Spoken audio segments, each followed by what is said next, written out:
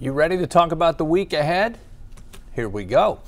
Our temperatures below average until we get to Wednesday. Notice that gradual but noticeable warming trend, which will take temperatures back into the middle to upper 80s as we get to uh, the middle and latter part of the week. The humidity comes down. Not for your Monday, but Tuesday, Wednesday, Thursday should be three fabulous days, dry with lots of sunshine and the humidity low, despite the fact that the temperature will start to climb.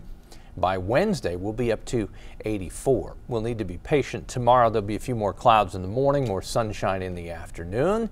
There's your hourly forecast, actually every two hours, but to give you the idea of where we're headed through the day, about 81 for the high. Seven day forecast temperatures peak at 86, at least for the work week on Thursday. As we get to the weekend, a slight chance of thunderstorms by the end of the weekend, 87 Sunday.